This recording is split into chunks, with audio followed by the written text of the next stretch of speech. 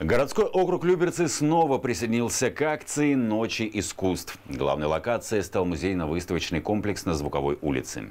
Знаете, что такое линогравюра? Нет, расскажите. Линогравюра – это э, оттиск на бумаге. Э, художники э, работали с различными методами в изобразительном искусстве, и они решили э, создавать такую, такой как бы трафарет на линолеуме.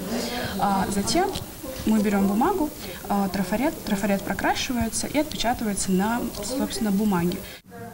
Ночь искусств в Люберецком музейно-выставочном комплексе провели в десятый раз. Мастер-классы, экскурсии по картинной галерее, путешествия в мир виртуальной реальности и культурно-образовательные лекции о живописи, музыке и изобразительному искусству.